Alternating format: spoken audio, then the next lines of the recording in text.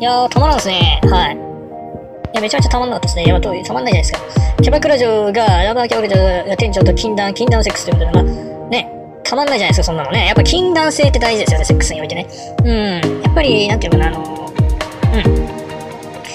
やっぱりさ、良くないわけだよ、やっぱり。キャバ嬢と店長がそんなことしたら。やっぱり店の雰囲気も壊れるしね、やっぱり、良くないわけでございますよ。やっぱり、あの、他のね、キャストもね、え、店長できてるのかよ、みたいなね。だからダメだと思うんですよ、本来。だけどそこをあえてやっちゃうというね。巨乳だからという理由だけでやってしまうというね。うん、これドスケですね。うん、たまんないですよ、これは。はい。